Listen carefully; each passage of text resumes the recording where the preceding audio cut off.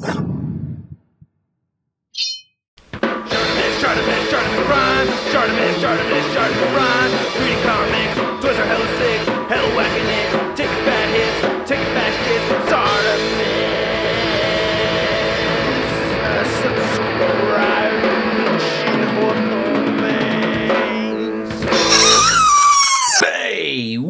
What's up, you guys? Shartimus Prime here, doing another Kotobukiya statue review on the Marvel Now ArtFX Plus Carnage. If you're trying to pick this up, you can order it right now.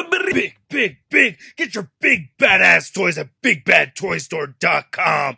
Click the link in the description below. And big thanks, Kotobukiya, for making this review possible. If you want to see the latest from them, be sure to check the links in the description below. And this is a very cool looking Carnage already. Always like the packaging with these ArtFX Plus statues, looking very cool with the comic art in the background. You get the Carnage symbol right there on the side, and more comic art in the back, and then you get some product shots, some concept art right over there, and the same concept art right over here on the side. On the top says Marvel Now, and not much more at the bottom. All right, let's get to it and crack this thing open. And here's Carnage out of the packaging, and this is a sweet looking statue with all kinds of details in the sculpting over here that just make it look very awesome. Very, very good looking piece. I'm really liking the paint apps on here too. Looking very clean. I love seeing the fade on some of the black areas right here. We get this nice glossy black right there running through like veins. I think the head sculpt looks great.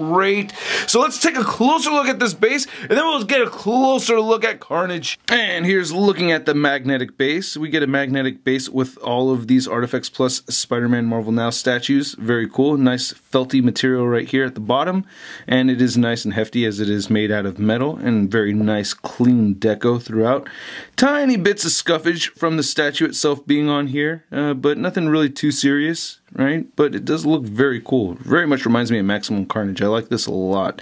Now he does come with a support piece right over here, and I do need to mention that there is assembly required with this statue. As you can see right here, it does come in multiple pieces. I just accidentally took the arm out right there. Just put it right back in, so you can see how that looks. Uh, but you also get this support piece right here that's supposed to plug in to the right foot and without dropping it. You can see how it just ports right here on the back. Come on, I had this done earlier. There it goes. So it goes into his right foot, uh, not the left. This is the only one that has a magnet right here. I do wish that he had magnets on both, but you know, you can see you can get him standing with that little support piece right over there. I was able to get him standing without it though. If you balance it properly, uh, there you go. You can have him using it without that little support piece, but I don't recommend this. I recommend either using the magnet base or of course using this piece right here. And here's looking at the head sculpt of Carnage and it looks good man. I'm really liking this. Love how the mouth looks right there. All the teeth look really good. I love looking at the silhouette. Now there's this thing going on with the eyes that is very hard for me to show off on camera and it looks really cool. Uh, it almost has this wax paper kind of look to it. I don't know how to describe it, but it has this interesting kind of subtle fade going on inside right here and it's very tricky to really pinpoint, but man, it looks great. Tiny minor scuffage going on right over here, extra black paint on that side but otherwise it looks really good. I'm mostly very pleased with how this came out. I really like how this black is bleeding throughout up top over here, going throughout the top on his head right there. I love all that sculpted detail. And plus we get all these tendrils right over here that look very cool. Uh, they're made out of fairly stiff material, but not so stiff where it feels like they're going to break easily or anything like that. I just love how this looks, man. That texture and that subtle paint right there and those creases. And then we have that strong glossy black paint for those vein sections. I'm calling them veins, uh, but they're not really veins, you know. But man, that looks really cool. Very nice. I'm digging this a lot. Look at that. That is awesome. Look at his right hand right there. We get some nice, very cool fading going on. Looks very cool. And then on the left side right here, this looks sick. I'm liking that. Very neat, man. I love how this fades right there. That left hand claw looks really good. I like that. It's kind of like some of the fingers molded together, melded together. And looking at the torso and looking at all the musculature throughout, looks awesome. Very pleased with this. Just throughout, the details are just incredible on this piece, man. I'm really digging it a lot. I have this attached right here, but just remove that. You can see the back of the heels right here. Uh, he does show up like this in the comics sometimes, not all the time, but there are times where I actually have seen him in the comics like this. I'm looking right here on this leg, looks really good too. Man, very, very nice looking piece. Just want to get one more look on the back of it right here. Look at all, all those veins and stuff. And right by the culo, he's got a tube coming out. And then nice looking muscle leg right there. And the back looks great too, man. Woof.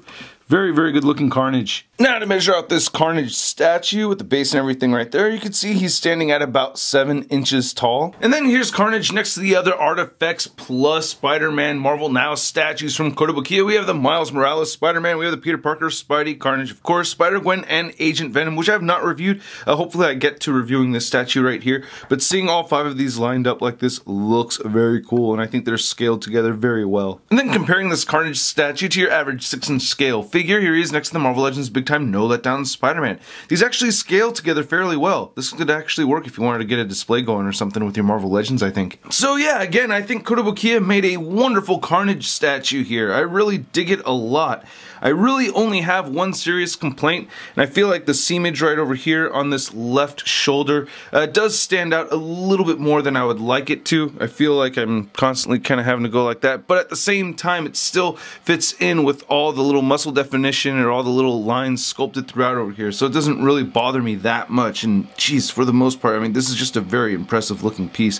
Very cool looking Carnage statue, and I hope you thought this was a very cool review. If you did, please hit the like button, leave a comment down below. Let me know what you think of the review. Let me know what you think of the statue. If you have not subscribed, please go ahead and hit that subscribe button for more Shartimus Prime videos coming your way. And if you're already subscribed and you have not hit the notification bell, please go ahead and do so so you know immediately when the next Shartimus Prime video is posted. And I gotta give a big thank you to these awesome people over here that help keep this Shartimus Prime going. Thank you guys so much. And if you want to see a photo gallery of images, it's all over at marvelousnews.com and you can follow me on the Facebook, Twitter, and Instagram. Links in the description below. I'll catch you guys later.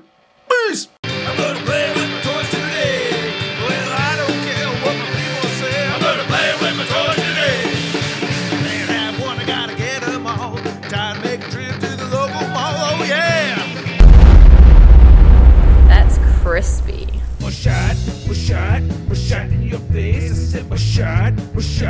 Was shot, was